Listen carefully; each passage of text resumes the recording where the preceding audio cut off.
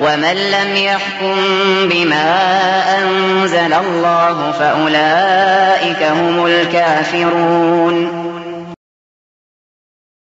Dies ist eine absolute Aussage, an der nichts zu rütteln ist.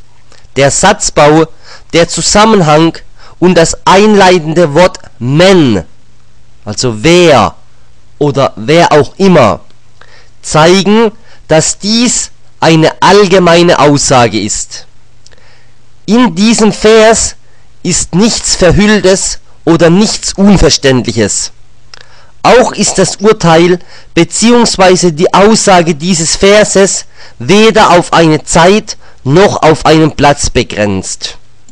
Jeder, welcher Generation und welcher Nation er auch immer angehört, der nicht nach dem richtet, was Allah subhanahu wa ta'ala herabgesandt hat, wird in diesem allgemeinen Urteil dieses Verses einbezogen.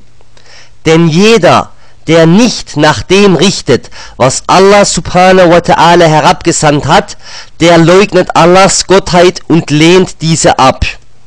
Denn zur Göttlichkeit gehört das Vorrecht der richterlichen Gesetzgebung. Er lehnt somit zum einen Allahs Göttlichkeit und Rechte ab und zum anderen schreibt er diese sich selbst zu. Wenn nicht dieses, was soll denn sonst Kufr sein?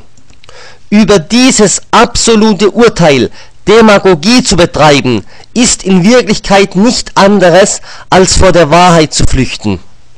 Der Versuch, einen Vers mit solch klarem Urteil zu erläutern oder auszulegen, ist in Wahrheit nichts anderes als der Versuch, diesen Vers zu ändern. Aber alle Demagogie und Erläuterung bzw. Auslegungsversuchen dieses Verses ändern das Urteil dieses Verses nicht.